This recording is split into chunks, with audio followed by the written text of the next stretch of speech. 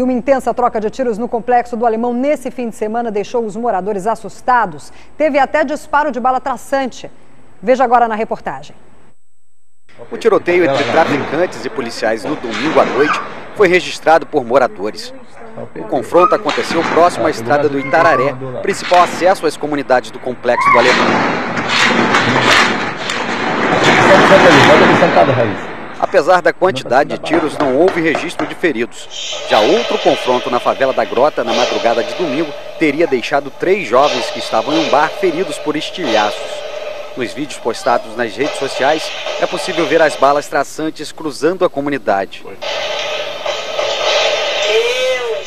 Em outras postagens, os moradores reclamam da violência na região.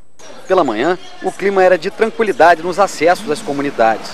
O Batalhão de Operações Especiais, o BOP, confirmou que houve uma ação contra o tráfico de drogas no complexo do Alemão.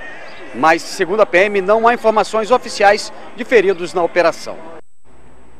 A bala traçante pode até não ser mais perigosa, mas intimida e muito, porque o morador vê todo o trajeto, o percurso e sabe, vai cair em alguma casa, vai cair em algum canto, pode atingir uma bala perdida. Essa é a realidade do Complexo do Alemão, que, aliás, esse ano de 2015 foi um dos maiores problemas de segurança pública que nós tivemos. As favelas mais perigosas, Vila Cruzeiro, por exemplo, o foco da resistência do tráfico de drogas, continua assim, o que diremos para 2016.